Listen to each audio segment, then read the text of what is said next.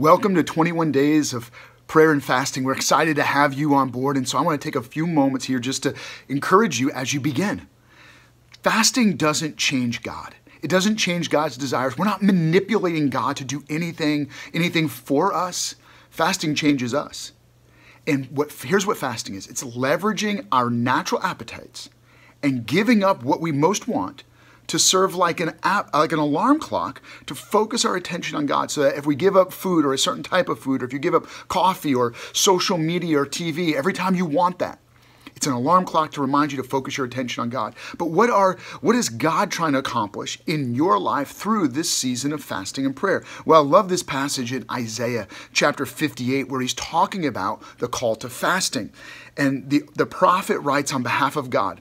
Is not this the kind of fasting I have chosen? To loose the chains of injustice, to untie the cords of the yoke, to set the oppressed free, and to break every yoke. And he says, if you will fast the right way with the right heart and the right motivation, then your light will break forth like the dawn.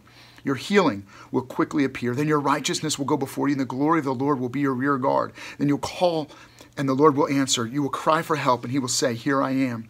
Here's what I want to challenge you. Would you take some time to read that passage? Pray, God, what do you want me to gain most through this season of fasting and pray? God wants to meet you, He wants to change you, He wants to empower you.